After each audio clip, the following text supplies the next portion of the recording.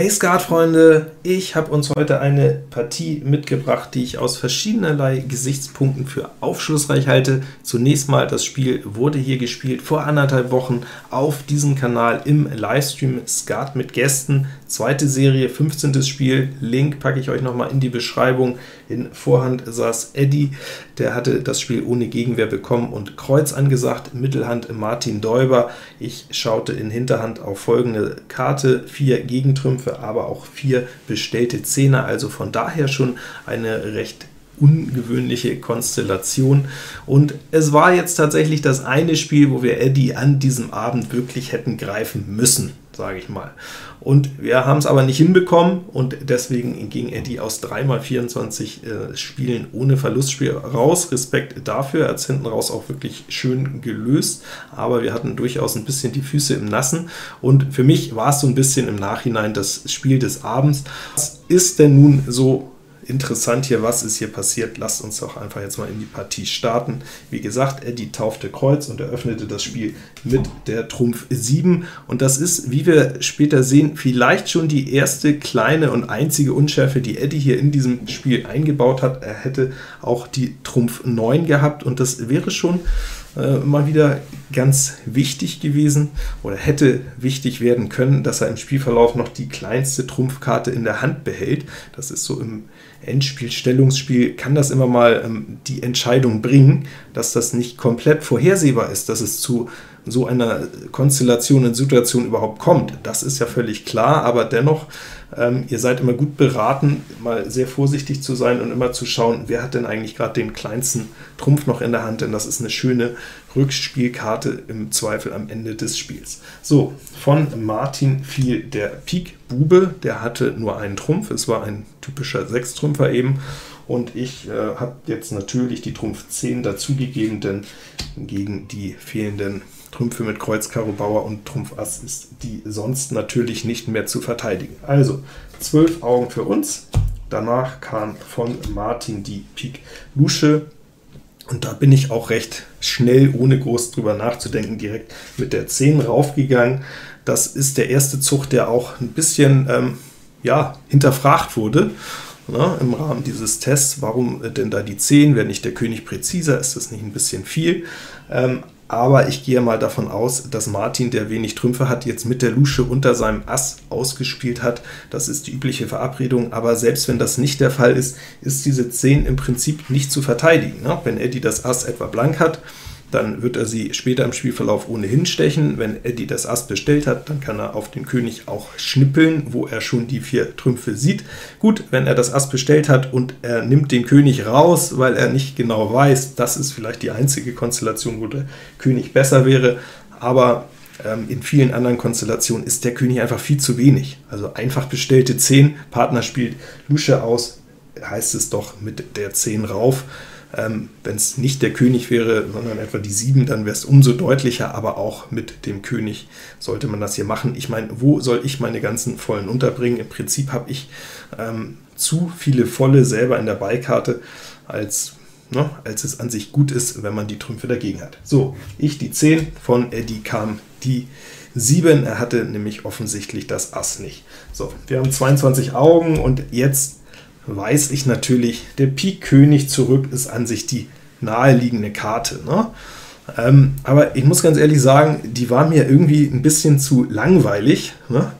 Ähm, das ist ja manchmal so hier vor Publikum, muss man auch sagen, wollte ich schon ein bisschen Show machen und ähm, hatte auch gedacht, naja, ähm, vielleicht hat Eddie den typischen Sechstrümpfer mit einem Drilling, ein Ass zu dritt und einer blanken Lusche, dann war das gerade die Pik Lusche.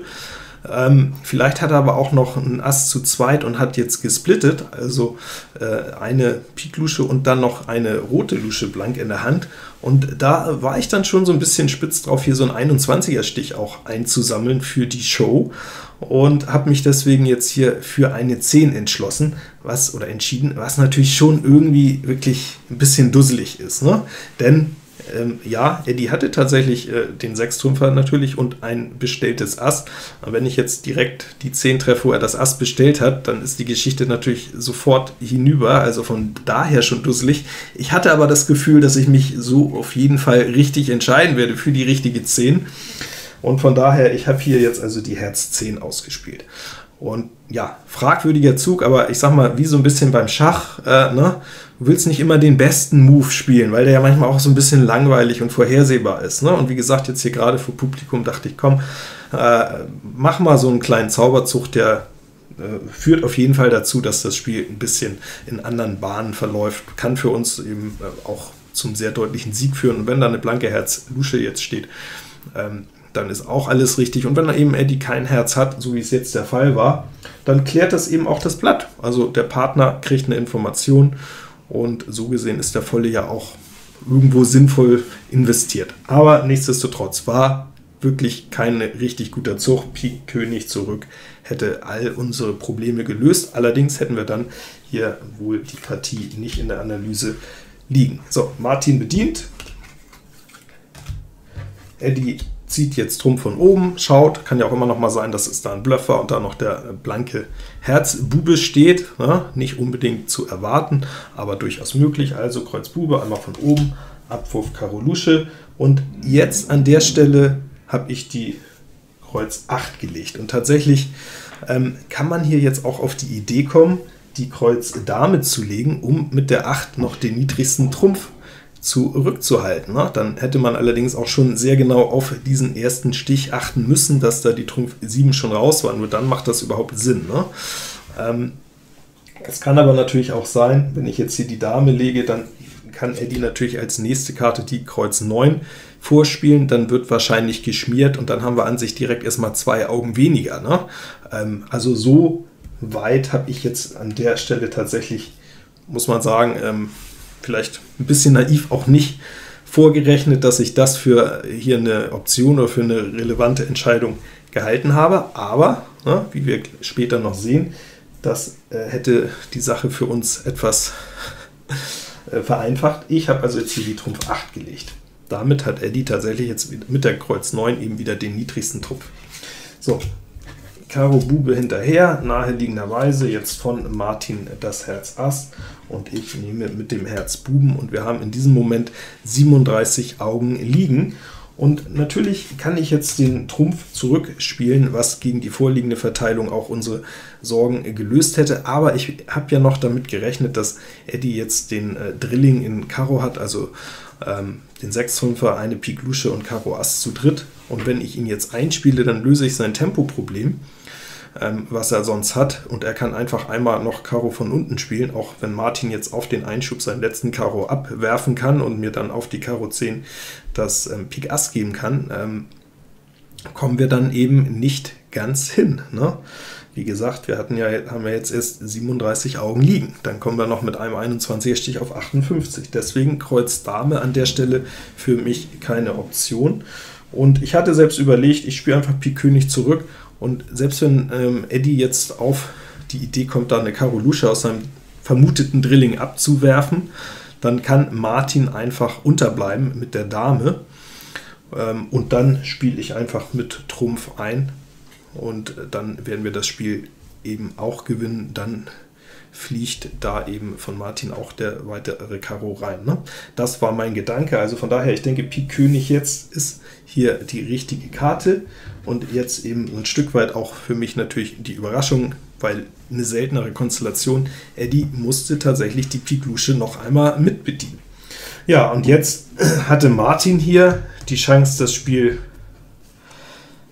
an sich ganz spektakulär zu lösen, indem er jetzt hier tatsächlich nur die Dame gelegt hätte. Ne? Dann hätten wir 44 Augen gehabt und jetzt wäre von mir der Trumpf Einschub gekommen und danach machen wir einfach noch Karo äh, König, Karo Dame, Karo 10 und gewinnen ohne das Pik Ass die Partie. Ne? Das wäre natürlich wirklich ein gewisser Zauberzug wieder gewesen.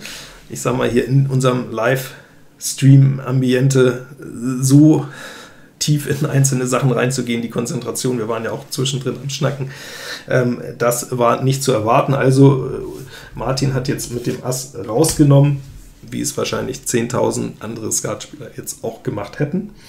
Jetzt haben wir 52 und jetzt fängt er eben an zu überlegen und stellt fest, ja, Moment mal, Karo kann er natürlich nicht spielen. Das ist ja schon klar, dass da jetzt noch das bestellte Ass sitzt. Also ist die Entscheidung zwischen Pik Dame und Herz König. Und ähm, wenn Martin muss im Endeffekt jetzt, äh, um diese eine gute Entscheidung zu treffen, äh, auch spekulieren, wer von uns hat eigentlich den niedrigsten Trumpf in der Hand. Ne? Ähm, wenn er etwa den, die Pik Dame spielt, und ich habe jetzt nur noch eine Trumpflusche, dann kann ich da vielleicht einstechen und Eddie kann einfach auf 59 abwerfen. Und genauso kann Martin natürlich auch nicht wissen, dass ich noch die Herz-Dame habe. Ähm, typischerweise ist ja mindestens ein Bild gedrückt. Es war jetzt wirklich eine Konstellation, wo Eddie in beiden Farben Herz und in Pik jeweils zwei Luschen hatte und sich einfach für die beiden Herzluschen zum Drücken entschieden hatte. Ähm, dann ist also Pik Dame falsch, wenn ich die Herz-Dame gedrückt habe und wenn ich eben hier nur die, eine Trumpf-Lusche habe. Ähm, also von daher ist, Eddie, äh, ist, Martin dann zu der Überzeugung gekommen, er muss was anbieten, Herz König bei 52 liegen, wenn da noch eben der Karo König steht. Das aus Martins Sicht sowieso die Voraussetzung, dass wir gewinnen können, dass Eddie da noch ein Bild in der Abgabe hat. Denn dann kann er ja jetzt auf den Herz König eben nicht abwerfen, weil es äh, schon 60 drohen. Gut, nun muss ich hier die Herz Dame legen und jetzt war eben der Moment, wo das Spiel für uns nicht mehr zu lösen ging und Eddie hat es natürlich im Endspiel schön gelöst. Das ähm, erkennt er natürlich im Bruchteil einer Sekunde.